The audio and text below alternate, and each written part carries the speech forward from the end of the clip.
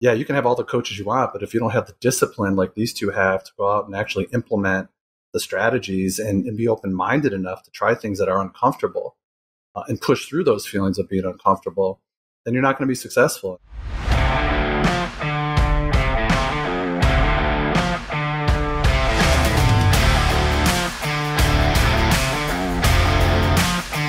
This is the Tournament Code. We appreciate you guys taking the time to join us today. This is kind of a first for the Tournament Code. We've had on one guest before. That's how all of our episodes are. Now we got three guests. So it should be a fun time today. I'm going to preface this all by explaining why we're doing this today. It's unique.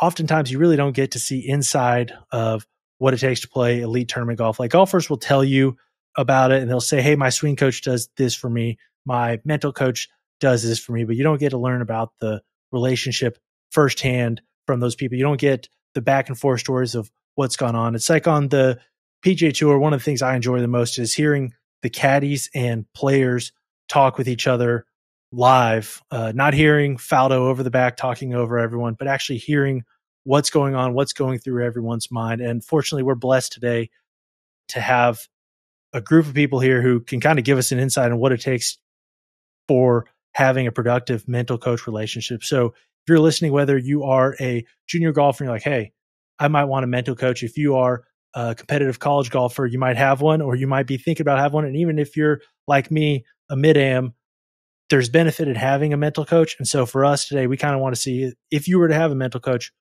what's the benefit of it for you? And then beyond that, we also want to learn about how Dr. J in particular here has worked with Lorenzo and Grace and also just about Lorenzo and Grace's careers as they go off to college here and see kind of what a progressive succession junior golf has been like for them. So, with my monologue there out of the way, let's start with you, Grace. Tell us just how you got into the game of golf. So, I started golf a lot later than most people, I would say, because I was initially a figure skater it wasn't until I think it was like eight that my dad like bought me like plastic golf clubs and he'd like have me occasionally come swing in the basement with him. And of course it was just plastic, so I wouldn't cause any harm in the basement. But I hmm. didn't really know how to really swing a club other than my dad teaching me in the basement. So it wasn't, yeah, I started pretty late. And then I started competitive golf, so like playing more summer tournaments probably going into my freshman year of high school because like once high school started my mom was like you had to choose between either skating or golf. So that's when i made my big choice and then i switched to golf and started focusing there. Very cool. What was the transition like from competitive skating to golf? Ooh. Well i'd say they're both individual sports so i definitely still had that mentality of relying on myself at the end of the day. Skating, it was, I felt I had less of a chance to make up for my mistakes because for skating, when you compete in a program, it's two minutes long and you fall on a jump, you get points deducted, and that's pretty much it. You don't get a second chance. Golf, on the other hand, you have 18 holes. So if you have one shot that you don't hit good, um, or even one hole, you still have 17 other holes or like 71 other shots to hit. So it was definitely a change in my mind or like just how I like viewed the sport and how I walked into it and how I had to like change how I set my mentality when going into a tournament. Interesting. It's funny how you phrase that like golf you have so much time to make up things and that things can get better because a lot of people look at it the opposite way that I made a double bogey on five, and uh oh, that has crushed my entire round. It's unique to hear that perspective from you. We'll roll back to that in a little bit. Tell us a little bit about where you are right now, golf wise, where you are academically, and what your plans are coming up. So I'll be continuing my academic and athletic career at University of Michigan. I did attend Rochester Adams High School for four years. And then uh, that's pretty much it. I did. I played on the Adams varsity high school team for about three years. I didn't play my junior year, but senior year, we definitely had a successful season. There we go, successful season. um, so that was, I was really happy we ended pretty well with that. And then now I'm starting college golf, so it should be a new chapter of my life.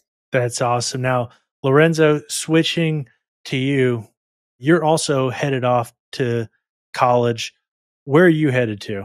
Uh, I'll be playing at Michigan State. So uh, there's a little bit. Okay, of, so you guys are over rivalry right now in the room. that's that's what I was that's what I was getting to. That's what I was getting to first. Now, before we talk about how you got to Michigan State, tell us about how you started playing golf. Well, I've always been playing golf like forever, and I think I started when I was two. And there's actually evidence of that if you don't believe me. So if you go on YouTube, there's a video of me swinging at uh, where's it? Where's that? Uh, someplace, but uh, so it's on YouTube. But Fieldstone? no, no, no, no. It was in a dome. Gosh, it's like it's like an amusement. It's like a a park place. I forgot. I'm blanking on the name right now, but um, so I, have been swinging since I was two. Been playing since I was uh, six, tournament wise, and so golf has been a part of me ever since I was little. And I got into it because of my dad. And um, originally, my dad's from the Philippines, and uh, he uh, moved here. I don't know when, but he did, and he picked up the game, and he really loved it. And so uh, one day he was uh, watching golf on the TV, and I decided as a two year old to go pick up a stick and try to imitate the golfers on TV. So he had the idea of buying me golf clubs, plastic ones, and then uh, from there I started hitting an actual ball with a plastic club, and I was making good contact. So then we just started building up to real clubs, and and I'm here right now. So that is awesome. That sounds like a lot of dads' dreams out there. You know, a lot of a lot of kids find golf boring, but I don't know. My kid is only a month old or something, so we'll see what he's like. But in any case, if I'm sure as a dad, it's probably enjoyable if your kid likes the same things that you like. So uh, he encouraged you in that. He helped foster that for you. Tell us about your road to Michigan State and competitive golf through high school. So I got recruited at the end of my sophomore year, June 15th. I remember it. They gave me a phone call that day. And that's the first day that coaches can call you. So early on, they showed a lot of interest and they continued to show interest throughout until I committed. So I pursued that. And then during high school, unfortunately, we didn't have a freshman season because of COVID. And that really bummed me out because I was really excited to play and I thought that we would win a state championship pretty easily. So sophomore year, we won a state championship. I placed second at states. Junior year, we uh, we won another state championship. I also I placed second again. So going into this year, I had one goal to check off, and that was to win Mr. or two goals actually. Uh, was to win individual states and to win Mr. Golf. And so this year I was able to win individually by shooting 10 under for two days, and I ended up getting Mr. Golf this year too. And I, I forgot to mention I played at Brother Rice, Brother Rice High School. Very cool. You got Mr. Golf, like that's nice uh, bookend on a high school career. Now you got to go off to college. Tell us a few of the things that you might be like some of the uncertainties about college. I'll tell you, actually, I'll tell you a little bit about my quick journey to college and how that worked out for me. You know, a little bit about how it didn't work out for me. I uh, got into the game of golf late, didn't start playing competitive golf till my sophomore year. And I got I was very fortunate enough to get a spot at Belmont. And when I got there, I was like, okay, over that summer before I got injured, I was like, all right, I think I can compete. Like I think I can play. Like I wasn't the best of junior golfers. I wasn't highly touted or anything, but I was learning quickly and figuring out how to get the ball in the hole. But when you start playing against a whole new group of guys, you got to go out and not necessarily beat them, but you got to still get the ball in the hole. But there's all sorts of different pressures that come with it.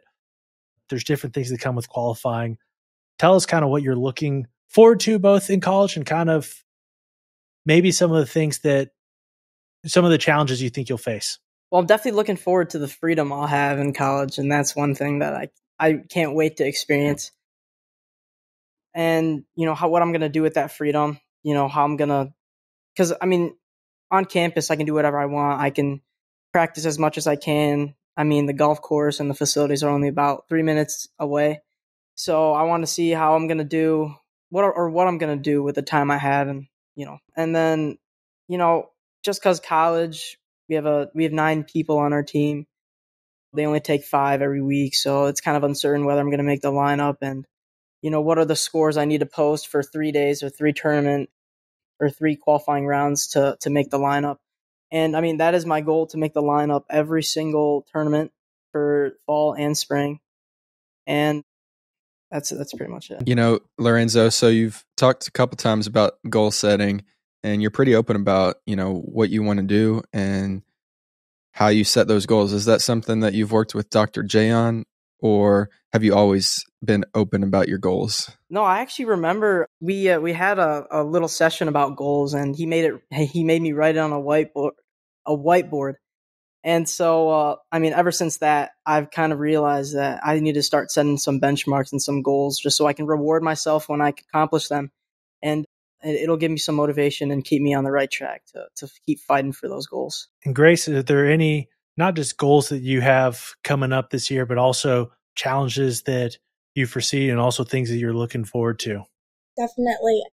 I'd say that one of the challenges that I'm I would say going into college would be trying to balance my academics along with uh, athletics because I know Michigan academics is extremely hard and to be able to also balance like D1 golf with that with the schedule that we have and the in the qualifying rounds, I think that I'd have to learn from others as well as learn from myself how to improve on things that I probably need improvement on. But I am excited to be able to practice with my teammates because I know growing up I've always done individual sports and it's just, it hasn't been, I feel like it's going to be a different environment being able to work with other team members, learning from them, especially from the upperclassmen rather than always practicing by myself. And sometimes I may not be able to figure out something, but if I had my teammate next to me, then I think that getting that help would definitely be a lot better. Teammates can both be a blessing and a curse. Some of my lifelong friends are teammates of mine. And I can also tell you my freshman year definitely got into fights with some of them. Even Ashton, who's a buddy of ours, who is a senior, there was a few incidents where he and I were had had harsh words for each other. And that's that's also the fun is building that bond and friendship. Now, tell us, Grace, how'd you get connected with Dr. J and how long have you been working with him? I actually got connected with Dr. J through Lorenzo because um, he was the one that was telling me how it helped him a lot. And then I think I, once I started competitive golf, it was a couple months after that Lorenzo really recommended Dr. J, so I was like, okay, I'll go check it out. But it's been about three to four years since like that I've been working with him. That is awesome, Lorenzo. What did you tell Grace to get her to decide to go to Dr. J? Um, I just said that you're gonna start winning tournaments once you start getting some getting some uh, lessons with Dr. J. So, and she's been. I paid him well for that comment. What were some of the things that you guys worked on, Grace or Dr. J? You can both answer this one. Yeah, I'd love to jump in. I mean, first and foremost, thanks for having us here. These two young people are really special in my life. You know, I've known both of them since they were 14, you know, playing junior golf and to get to watch them grow and accomplish the goals that, you know, they set out. I just kind of coached them through it, but they had their their minds made up about what they wanted to accomplish and they had wonderful family support uh, along the way as well. And these their families raise wonderful human beings. So it's a it's a joy and honor and a pleasure to you know help them achieve the success that that they have started to to see. And a lot of it's come recently. It's been a wave tidal wave of accolades and awards in the last couple months for both of them, and and then capped off by going to two great Big Ten universities to to fulfill their dreams moving forward. So I'm excited to see what's going to happen in terms of you know getting to know them. You know, I knew Lorenzo first, obviously, uh, a few months before Grace. And I think the one thing I'd like to just kind of say about Lorenzo and his personality is, you know, Lorenzo and I work very well together. The thing I appreciated a lot about Lorenzo was his healthy level of skepticism uh, about things, right? Um, he's a very um, self starter, thinks for himself, but not too much where he's not open minded to be coached. And I think that's a great balance for him to have. Uh, and at the same time, Grace was always very inquisitive, asking amazing, tough questions, c- catching me off guard quite often with the questions she was asking about, you know, how to think about something or how to prepare for something. They both came to me working on different things, you know, so we can definitely get into that tonight. But uh, it's just an honor to see them both here and, and growing up uh, right before my very eyes. It's been quite awesome. Tell us a little bit, Grace. We'll start with you, and then we'll go to Dr. J a little back and forth, and then we'll do the same thing with Lorenzo and Dr. J. Grace, tell us when you first came to Dr. J, what did you want to work on? Did you know the right things to work on, and what did what did you end up uh, doing? So I'd say so. Starting golf, I definitely did not know how to control my emotions, and I feel like a lot of people could say that. But I remember one of my very first sessions coming into Dr. J was learning about pressure. And that has like honestly stuck with me like ever since the first lesson because it, he was like, okay, well, first pressure is like you care about it. I know that like the outcome is always uncertain. And then the third one was your judge. So like this pressure could either be a threat or an opportunity. And so every time I always think about that and I always have to like narrow it down to like how I would change my perspective of it. But I say one of my most like important things I wanted to work on was controlling my emotions, especially since during recruiting seasons I knew that a lot of college coaches would be watching how you react to your shots. And it's not even about half the time like if you don't play well, like that's fine, we all have bad days, but it's just how you react, how you how your body language is during the game. I know we worked on body language a lot and how you treat your opponents. And a lot of it was just being able to understand myself and also my golf game at the same time.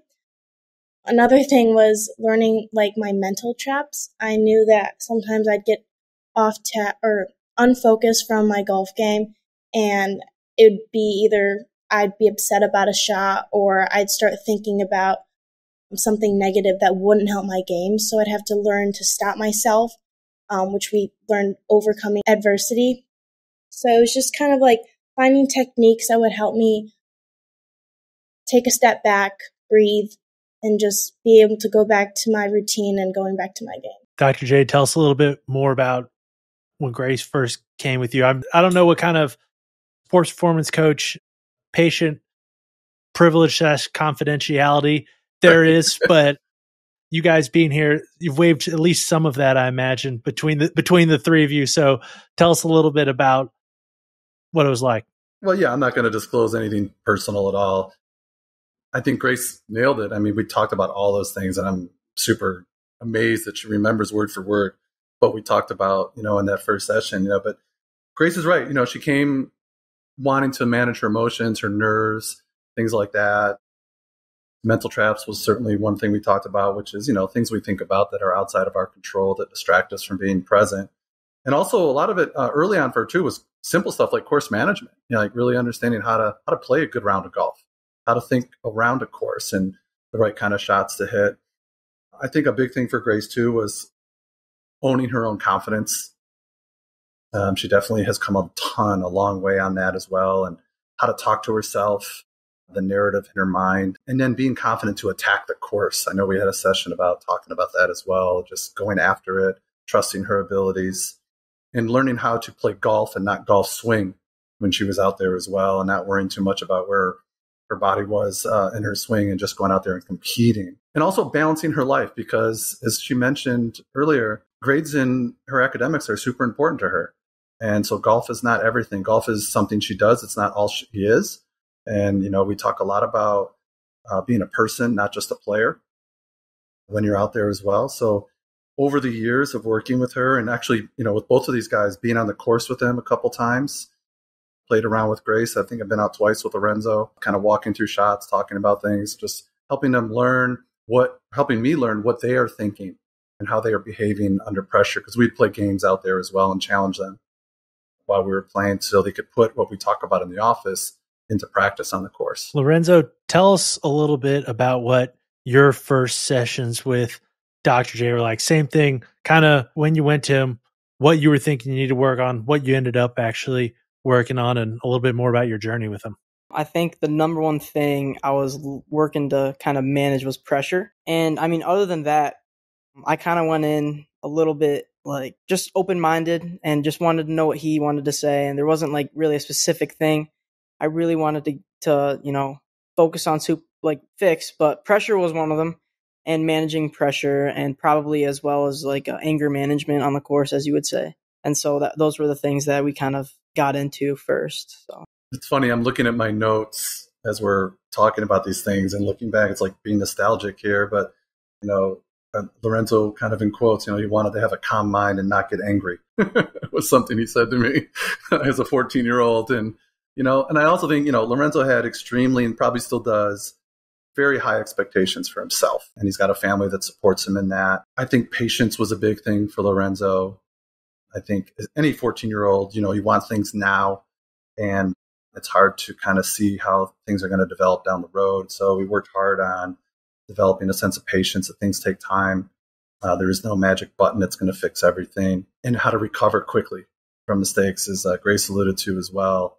You know, to make sure that we have a system for that, how to notice when our emotions are getting the best of us, and how to stop and regroup and take a breath and let's get back into our routine and back into that present moment. So, you know, we went through a lot of the similar things that, that Grace mentioned as well with Lorenzo you know, I don't have a program, so to speak, but um, as 14 year olds, they have to have some fundamentals in the mental game that we had to cover. So I remember, you know, when I was a junior golfer, there's a lot of different levels of tournaments, and you obviously want to play at the highest level, ultimately get to a Power Five school like you guys are going to go to.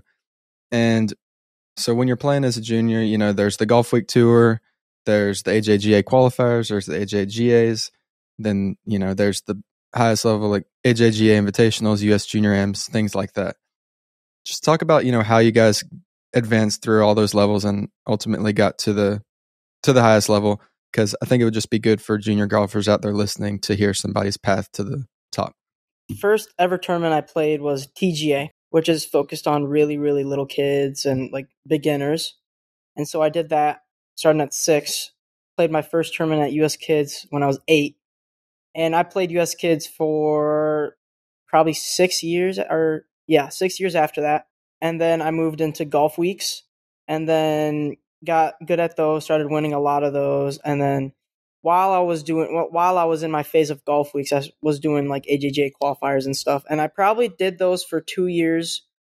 Um, how old how old were you when you were doing doing these golf weeks and um, stuff? Probably, I think I remember I was thirteen when I hit my first one, maybe 12. And I also forgot I was doing some top 50s in there as well, uh, which is locally for, for Michigan. And so uh, I did golf weeks and I was trying to qualify for AJGAs. And I think at around three years ago, um, I started being able to have enough stars to where I didn't really need to qualify anymore. I could just apply and get in. And so um, after that, it's just been I kind of stopped playing golf leagues just because I can get into a lot of AJGAs and focus more on AJGAs. And uh, ever since then, I've been focusing on like the bigger junior events, such as the Junior PGA, the US Junior, the Western was another one that um, I got into. And um, once you're at that level, that's honestly kind of just like the level before you get to college, those big tournaments.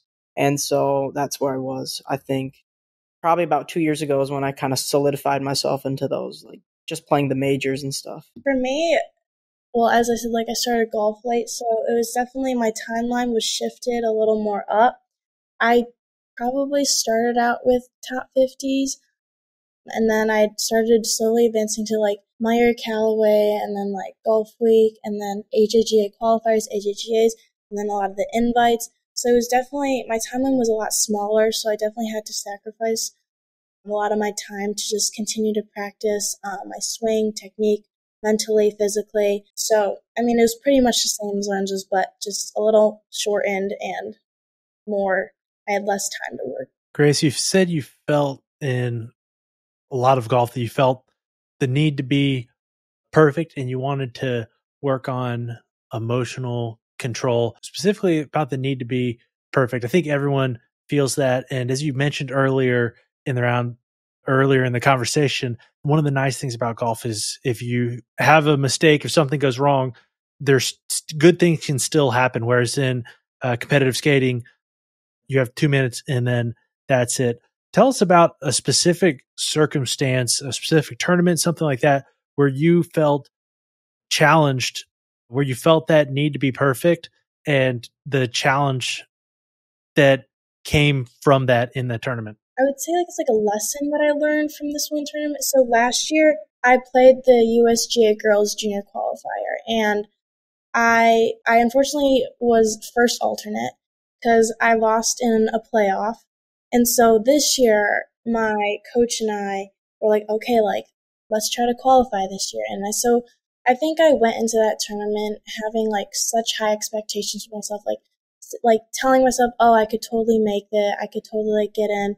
I'm going to qualify.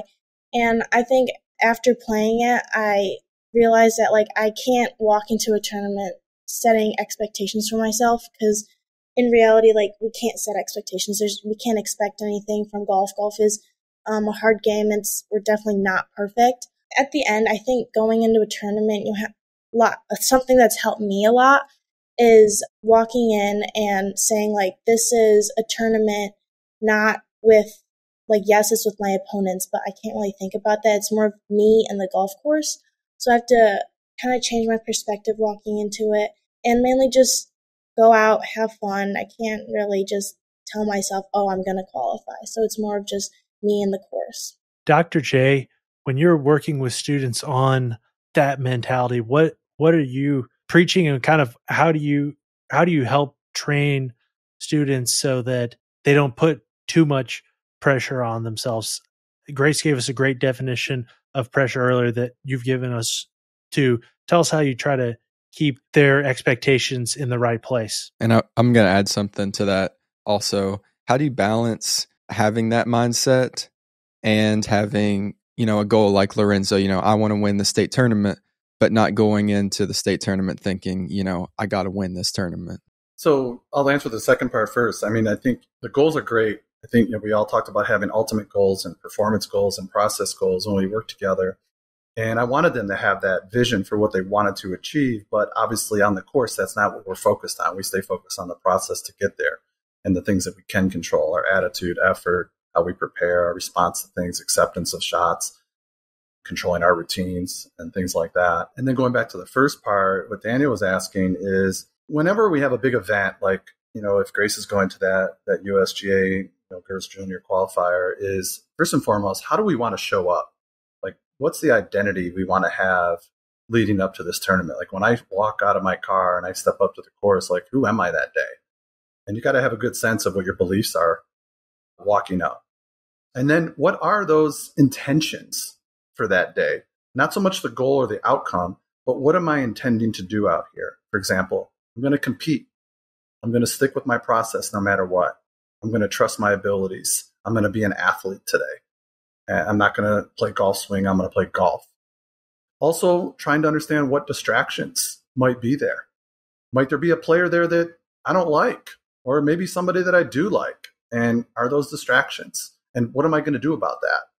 And so helping an athlete mentally prepare for all those scenarios, I think takes some of the pressure off because even if those things don't happen, at least we had a plan for it. And how am I going to prepare off the course as well? Like, what is going to be the preparation leading up to it? We often talked about the night before routine with these guys. Like, hey, what are you going to do the night before, you know, to help yourself get ready? You're going to read the yardage book and look at video. Are you going to stretch? Are you going to hydrate, eat right, get enough sleep, check your bag, make sure you have everything? Like, take care of all those little details ahead of time to take some of that pressure off those potentially pressure packed situations. Some of the biggest foot faults that Cooper and I have made, and some of them were together, uh, me caddying for him and vice versa, is not doing a lot of the easy things right. Uh, even playing, I've probably told this one plenty of times on here, playing in the Jones Cup, you know, it's a nice event down in Sea Island. And we show up the first day I'm caddying for Cooper. Like we've gone through our practice round. I got my yardage book with all my notes on it.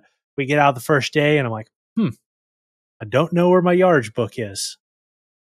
And we play, we ended up having to play all three rounds without my yardage book. Wouldn't have probably done us much more good, but it would have been at least better if I'd prepared for that. Lorenzo, you mentioned you wanted to work on feeling pressure as well when you're out on the course, making sure you have it in the right place. Tell us about some specific circumstances that you were in where maybe you felt pressure and you didn't react the way that you would hope to. And then some about how your work with Dr. J has influenced how you handle pressure.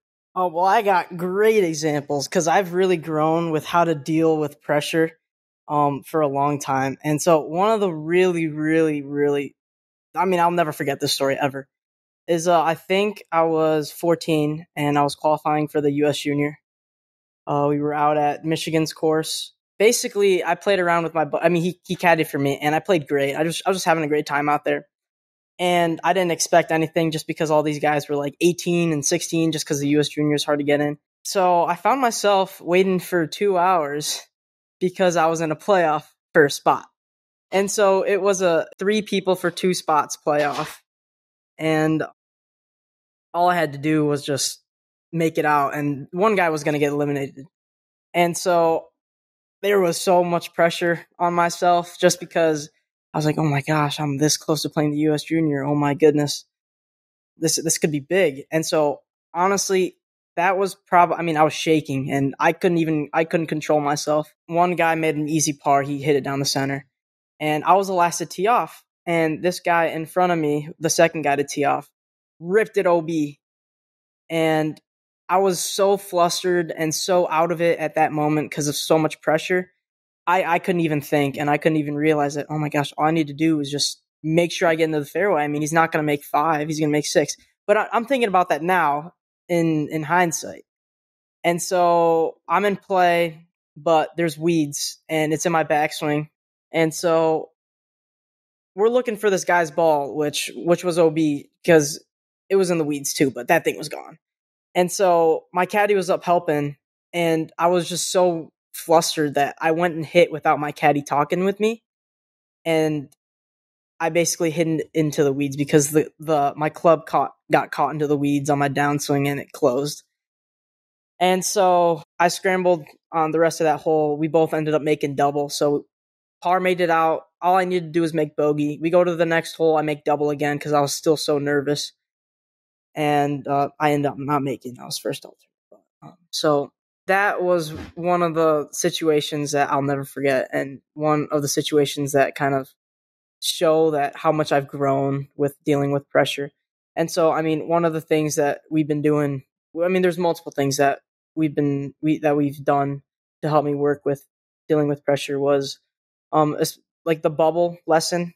You know, staying in your own bubble and not worrying about what other people think, and um, the controllables was a good lesson there too, and what I can control and uh, not worrying about what other people can do and um, staying in the present moment is a huge huge thing that even even now i think about just staying in the present moment. That stuff for i mean four years i think right? Just those lessons and compiling them all together and putting it into my game now has really uh, helped me succeed. And a good example of when i dealt i dealt with pressure in a really really good way was last week for the USAM qualifier. And so the USAM qualifier was out here at Acres West. And I played the first 18 holes one under. I finished birdie birdie in my first 18, and I found myself about four strokes, three strokes back. There wasn't that much pressure. I mean, I knew I had to shoot like eight under to get in just because four under was the lead. There's like a couple people at four under. And so I knew I was in it a little bit. I knew I could get into it, but I knew I was a little bit far. So I played my first two holes, or I played my first three holes two over. So I was one over for the tournament with, um, what was it, like 15 to play. And at that point, I was just like, you know, I'm just going to play golf and not even think about, you know, making it or, or doing anything.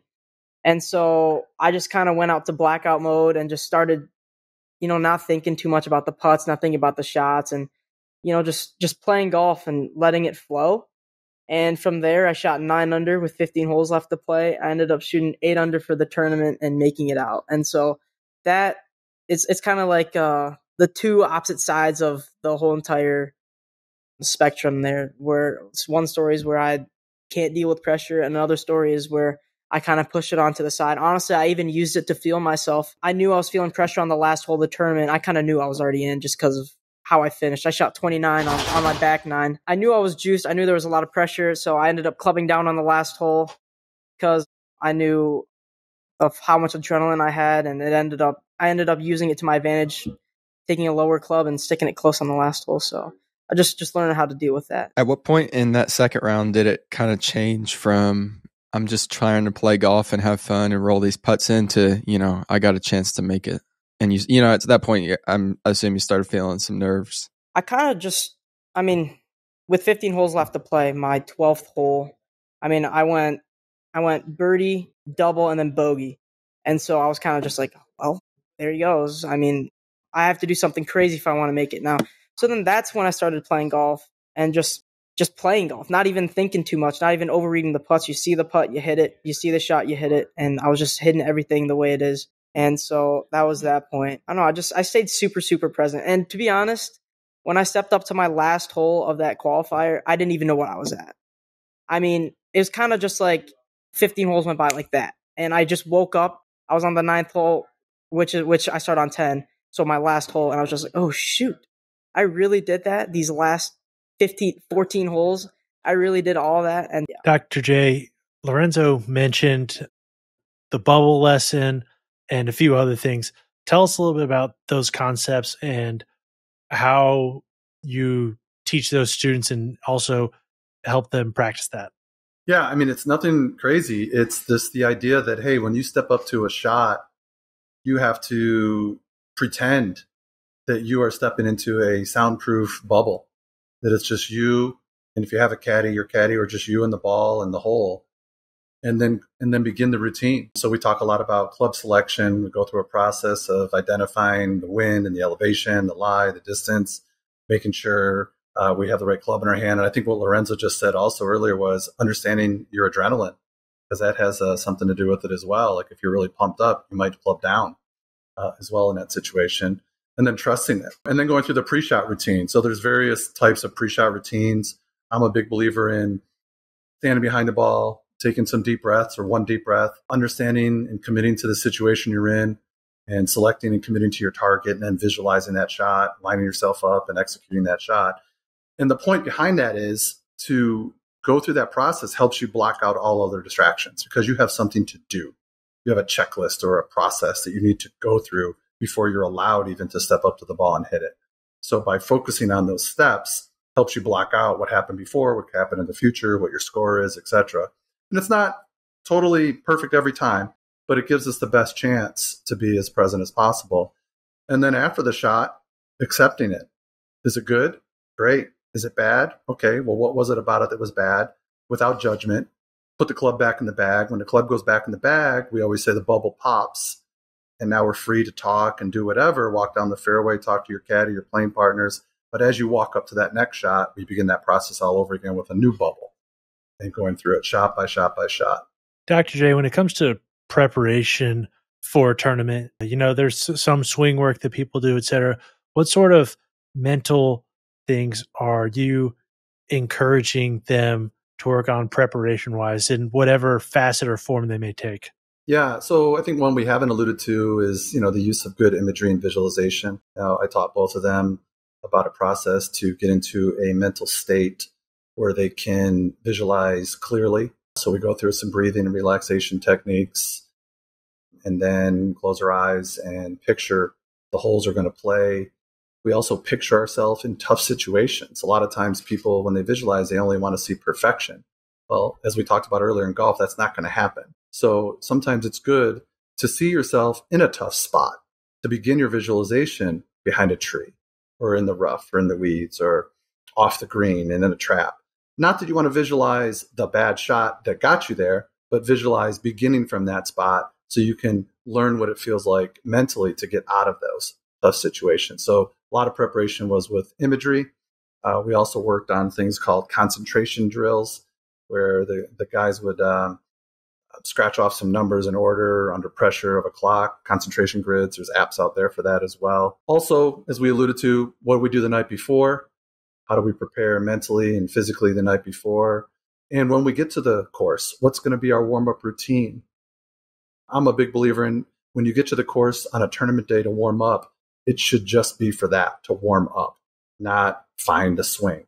So go there, get your body loose so you feel comfortable with your swing. but not necessarily looking for the swing that day. That makes sense. So, pop quiz here for Grace and Lorenzo. We'll start with Grace. Tell us about what your pre tournament routine actually looks like. And no saying things just so Dr. J hears things that he likes. So, like, bef- like the night before, or is it like the day of? We'll start. We'll start the night before because that's that's again that's where Cooper and I have definitely lost ground ourselves, even when it comes to estimating how long it takes to get to a place and when we need to wake up. So tell us about your process starting then and working into the day of all the way up until you hit that first tee shot. All right. Well, so I mean, I don't really try to like think of it that much because the more I think about it, I feel like the more kind of like pressure I have. So I, so like, let's just say like you're going to go play golf with your friends. Like I would just think of like preparing it for that instead of like, oh, I'm going to this big tournament. Like I feel like that just puts more pressure on yourself. So usually I definitely go to bed a little bit earlier than usual, but not too early because sometimes when I get too much sleep, I don't also play that well. But I make sure that my yardage book is all in my bag. All my, I always have three balls in my bag, and I make sure all of them are marked beforehand. I have enough gloves, and it depends on the weather the next day. If I have, if I have my rain gear or if I need any extra clothes, then I put it all in my car. I have my cart, shoes, just basically what I need for golf, my bag, and I always make sure that I have my clubs cleaned before because I don't want any dirt in my screws or anything. So it's pretty much just a normal normal night, but just going to bed a little early and just eating a healthy dinner as well as eating a healthy breakfast the next morning and preparing my snacks and uh, my lunch. So yeah, it, it's not that I don't make it like a big deal because I don't want to make it seem like oh I'm going somewhere super important, but I am. But you got to mentally tell yourself like it's just a normal day of golf. Like I'm out there to have fun. So yeah. What does the warm up look like for you?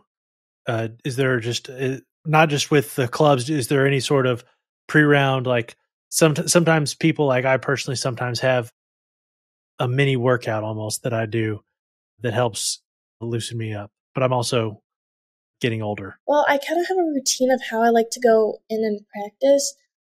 Well, in the morning, I usually kind of stretch, warm up my muscles like beforehand going to the course. But once I get to the course and I take all my bags off, I would always go to the putting green first and I use my Pelz putting like board. So like I wouldn't really feel the greens then, but just to make sure I have like I'm starting the ball online, just getting like my swing in, warming up my muscles. Then I'd usually go once it hits like less than an hour mark to my tee time, go to the range. Range takes like 20, 30 minutes. Definitely stretch beforehand. Um, do my, cause my trainer and I have come up with some of like stretching drills. So I do stretch, make sure my muscles are warmed up so I don't hurt myself. Hitting the range, I don't really hit a lot of balls because one thing that Dr. Novetsky or Dr. J have and I have worked on is like sometimes I wouldn't have the best range session and I'd have to tell myself like the range is 100% different than the course. So I have to get myself in the mindset of like okay, well, I'm here just for warm up. I'm not here to like, I'm not at the range to play the course. It's just warming up my, my body, getting contact with the club. And then afterwards, I'd go and feel the greens, measure my paces just to find out how much I need to swing for each of my putts. And once my, about like 10 minutes before, 15 minutes before, I'd take a little break and, I'm just out there having, trying to go have fun kind of going back to something you said earlier, what what are what are some of the things you're eat, eating on the golf course during a tournament? My uh, trainer and I definitely talked about this a lot. So usually, if if it's like depends on my tee time, I definitely have a sandwich. Any sandwich that has enough protein in it. I do add a lot of fruits and then nuts. I do have also like beef jerky to like um, increase protein, but it's more of just like having that energy I know it's like weird to say, but like you just gotta have to constantly eat. You can't eat by the time you're hungry because then your body's like already out of energy. So it's just con- constantly fueling with like enough protein and just yeah, keeping up your energy. And I also sorry, I also do drink uh, liquid IV, and it helps with hydration and also energy. So that does help a lot too. I just want to jump in for a second. I think it's great that Grace is talking to her trainers and her, you know, people about that because she's right. It's if you wait till you're hungry, it's too late. And it's not only about the physical energy you need. We now know from a lot of research, and there's a great book called Thinking Slow and Fast about, you know, there's different systems in our brain and the logical planning that we have to go through mentally to prepare for shots, to think our way around the course burns a lot of glucose in our system. And so it's important for uh, these young athletes to realize that every other hole they should take a bite of something.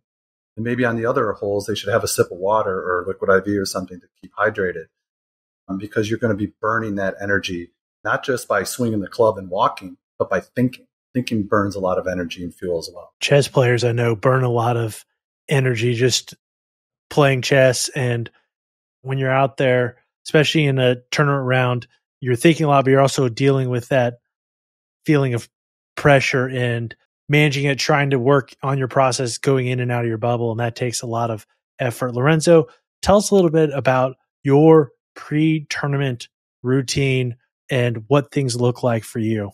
Well, something that I've just started recently was marking my balls the night before. And usually I start I start a tournament with six balls. Very first day, gotta have six balls in the bag. Mark all of them, which I just started doing starting two tournaments ago which is really nice because now I don't have to worry about marking them. I just pick them up. And so I do that and then make sure I get enough sleep. Usually I aim for more than eight, around 10 hours, so I shoot for, for 10. And then occasionally, I mean, usually I just treat every, everything normal, just like a normal night. But occasionally, if I know the course and I know I, I've played well and I know that I play there a lot, um, usually sometimes I'll go to bed and right before bed, I kind of close my eyes and just visualize like the holes and and the shots. I don't do that for every single tournament because I don't know a lot of courses like like the back of my hand, but for the courses that I do know for the back of my hand, I like to do that and just kind of picture myself succeeding on that course because I already have, so I'm kind of just uh, revamping those memories just so I can get comfortable with it. And so that's pretty much my uh, my pre-routine to the night before and usually I'm really lucky. My mom is really nice and she takes care of me a lot. And so she makes sure that um, me and my brother have a lot of stuff in my bag to eat and to drink. And so I never have to worry about that. But I'm sure that's going to change because of college and she won't be there for me. But so. Well, you can always ask your coach to pack your lunch for you. um, as far as the day of, walk us through the day of kind of what things are going on mentally for you and your pre-round warm up. If there's anything specific that you're doing, yeah, just keep it light. Usually in the morning, just like how you wake up every single day. Usually wake up with a smile. At least try to. Not really thinking a lot about the tournament while I'm making my commute to the to the golf course. When I warm up, I usually go straight to the range. I divide it so my time block is 50 minutes of time. I do 30 minutes on the range, 20 minutes on the putting green. And so usually I'll do, I'll always hit a 58. I'll always hit that. I'll hit chip shots and then start hitting some like 90%. And then after that, it depends on if it's an odd day or an even day. So if it's the 18th, I'll hit eight iron, six iron, four iron. Then always hit three iron, always hit three wood, always hit driver. And then if it's an if it's an odd day, I'll go nine iron, seven iron, five iron, and then always hit three iron, always hit three wood driver. And so I usually do that. And then at the end, once I'm done hitting driver, I usually go back to the wedges and make sure that, you know, because I've been hitting the longer clubs for a couple of balls, I want to go back to the shorter clubs and get back to my chip shots. And so when I go on the putting green, usually the first thing I'll do, I don't do this all the time, is I put out a mirror, put on a three foot straight putt, make sure my mechanics are good, make sure my feel is fine, I'm hitting the ball on line. And usually when I know I can hit the ball where I want to, that's when I'm putting really good. Because then I don't work I don't focus on, you know, the swing or the putting stroke and, you know, where the face is. I usually just focus on the speed. And when I had when I just focus on the speed, that's when I start making a lot of putts because that's when when you have really good speed, that's when you kind of it's easier to make putts because of how it enters the hole you know, because harder hit putts, the hole becomes smaller pretty much. And so when you're focusing on the speed, you can easily get to, you know, perfect speed where the hole could drip into. So that's that's why I usually I make sure I am hitting the starting the ball off where I want to. And then I'll work I'll just work up progressively to six footers, ten footers, and then just start doing some long forty footers just for some feel. And that's my routine. So very cool. Well, I'm we're we've gone for about a pretty decent bit of time here, and I think that we've got a lot of insight here. So I'm gonna I'm not gonna wrap us. I'm gonna get us to our last series of questions that we're going to do. It's going to be a little bit different for everybody. We'll start with Lorenzo, we'll go to Grace, and then we'll go to Dr. J.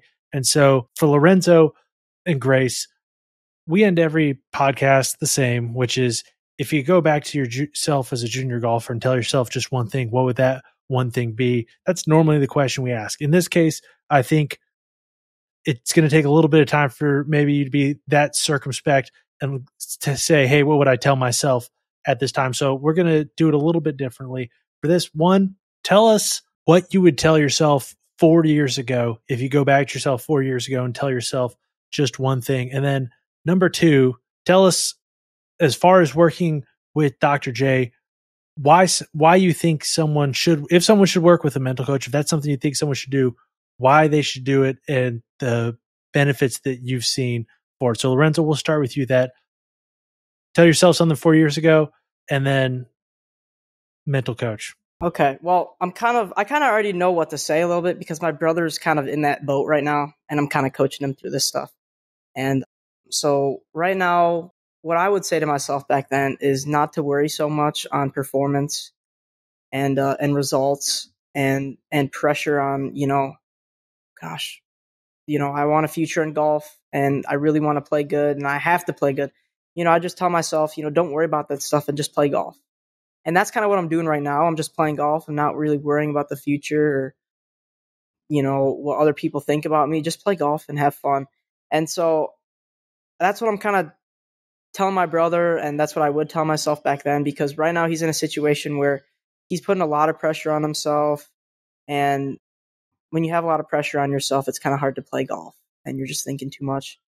And so that's one thing I would say to myself. The other question was why sh- why should people go to a coach or like like uh, Coach Novetsky? A lot of things that mental coaches can tell you because they do know a lot you know, it, it not only just goes with golf, but it, you know, it also works with other stuff too, like um, dealing with people around you that m- make you really mad that, you know, in school or even just doing school and having tests that come up.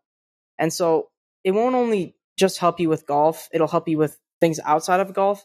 And the stuff that you learn from it is just so precious that even now I still look back at it and I, I use it. I incorporate it into my practice incorporate it into my routine, my golf, and pretty much my whole life. And it definitely helps. And before I went into and did a lesson with Coach Novetsky, I was kind of I mean, I was open minded, but I had that little little devil on my shoulder, like, you know, why are you why are you doing this? I mean, do you really do you really need this guy? Well, what can you learn? What more can you learn? You know? And so just kind of shoved him off my shoulder and kind of I, I learned a lot. And there's a lot more to golf than than there than you really think there is, and so the mental side, having a mental coach, and uh, exploring the mental side of golf really helps. So, and Grace, same question to you. You go back to yourself four four years ago. What is one thing you would tell yourself, and then if you recommend if you were to recommend someone work with a mental coach, if that's something you believe, what would you tell them? I'd say four years ago, because that was when I just started competitive golf, and I was like, okay, well, I gotta really work really hard. I gotta win these tournaments to show these college coaches like I have the capabilities of playing D1 or any division level. But I, I think I tell myself success does not come from perfection, because well, first of all, we're playing golf, and it's an extremely hard sport. So we're all going to have good and bad days. And sometimes it's those bad days that will allow us to appreciate those good days. Success does not come from perfection. And at the end, trust yourself with your game. Work hard because that hard work will pay off.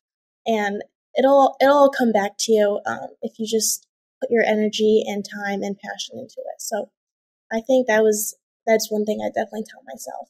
And then when I first started, or when Lorenzo introduced me to Dr. J, I was like, like similar to Lorenzo, I was like, there's no way like my mental game affects my game that much. Like there's, there's just no way.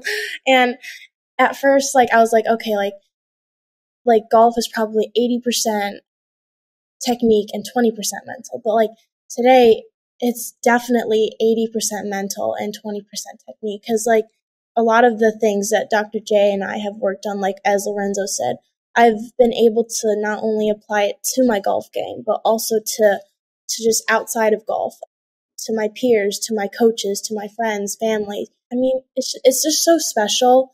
And some, you don't even realize like half the time what you're thinking during your game or even any sport. And so just being able to work and talk with someone about what you're going through, how you feel, and especially with Dr. J, he he knows so much and just being able to learn from him or just taking advice from others because sometimes like we might not be able to see something of us, but other people from the outside can see something about you that you can probably change or you can take us towards a step towards a direction where you can change how you think of yourself or even just how you see the world. So I, I definitely th- uh, recommend a sports psychologist because they've, he, Dr. J has helped me a lot with my game. Thank you. And then Dr. J, turning it over to you here. One, is there anything that you wish we would have talked about that we missed at all? And then whether whether we missed something or not, after that, just tell us a little bit more about what people should expect working with sports performance coach like yourself and what if someone's out there listening what you would hope that they would take to heart from hearing lorenzo and grace talk with us.